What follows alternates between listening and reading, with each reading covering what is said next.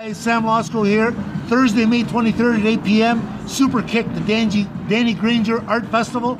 It's art and wrestling too, and it's in honor and in memory of the franchise Jonny Gayle. So it's all uh, proceeds are going in support of Holland Bloorview. So come on down, show your support, get a look at some great art, and meet who's down there.